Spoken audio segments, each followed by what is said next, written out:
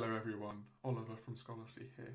In this short tutorial, we're going to take a look at how you can integrate your Zotero library into your Scholarcy account.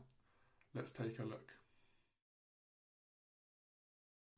To integrate your Zotero account with your Scholarcy account, head over to the Profile tab so you can sign in. Scroll down to the bottom where you can find the Zotero configuration section. Click on Connect your Zotero account. A new page will open where you can enter your username and password. After doing this, click on Log into Zotero. After logging in, you will need to accept the default preferences. This is important as it allows Scholarcy to read files from your Zotero library.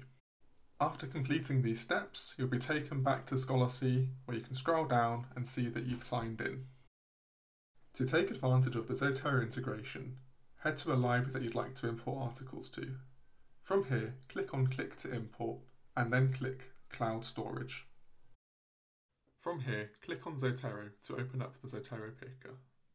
From the Zotero Picker, make your article selection by clicking the checkbox found to the left hand side of the articles. Once you're finished, click on Confirm Selection and then click on Import to start uploading the files to Scholarcy.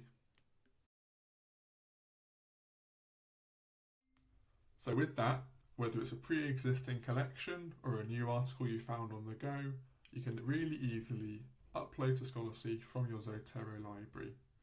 Let us know how you get on in the comment section down below, and thank you very much for watching.